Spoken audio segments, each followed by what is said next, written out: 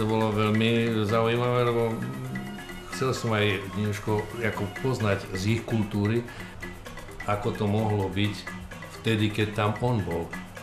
Tak som vlastne prišiel prvý po 200 rokoch e, po Beňovskom.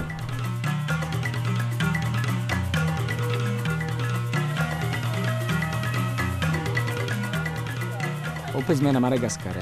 Prichádzame sem už po šestý krát a stále máme veľkú ambíciu nájsť hrob Morica Beňovského, jeho pozostatky, zistiť, kde ležal a kde boli jeho posledné chvíle života. E, za mnou je východný mys Madagaskaru, je to miesto, ktoré je zdokumentované, kde naozaj sa odohral ten posledný boj a vždy, keď sem prichádzame, tak prichádzame s niečím novým. E, aktuálne máme so sebou geofyzikálne prístroje, budeme vykonávať jednoduché geofyzikálne merania, e, konkrétne odporové profilovanie.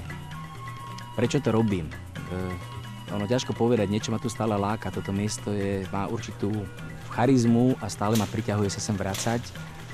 A či budeme úspešní alebo nebudeme úspešní, tak povieme si to možno na konci cesty alebo na konci tohto filmu.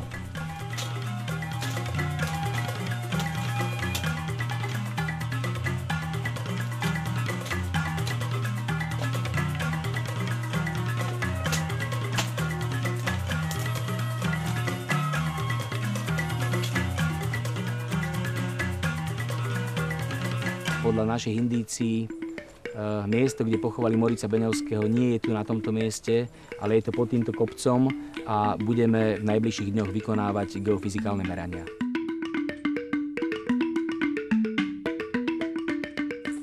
Úlohou geofyzikov na tejto expedícii je nájsť hrob Morica Beňovského pomocou geofyzikálnych metód. Na základe archívnych mapových podkladov sme vytipovali niekoľko miest, kde by sa hrob Morica Beňovského mohol nachádzať. Toto je jedno z miest, ktoré kočujú domáci a pripravujú ho, čistia ho a pripravujú ho na to, aby tu mohlo prebehnúť geofyzikálne meranie.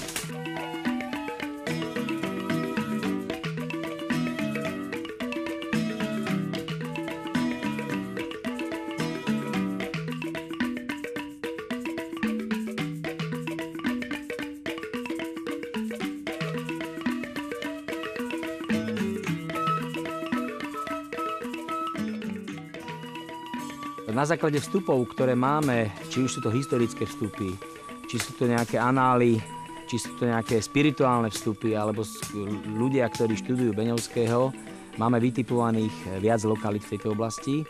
A aj mapa Matejho vykazuje určité nepresnosti, ktoré keď dneska uverujeme, nesedia tam určité veci. Nevieme, či to bola chyba ich prístrojov, alebo to bolo nedokonalé mapovanie, alebo možno to bol Matejho zámer niečo zakryť. Preto okrem tejto lokality, kde sme teraz, sme vytipovali, že rovnako podobná lokalita môže byť na druhej strane tohoto kopca, ktorý ja nazývam Seranana.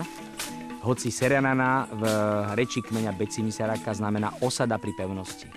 A tam sme vytipovali druhú lokalitu, kde po vyklčovaní tohto územia a preskúmaní ho geofyzikou sa presunieme za kopec a budeme podobne ako tu hľadať hrob Morica Beňovského.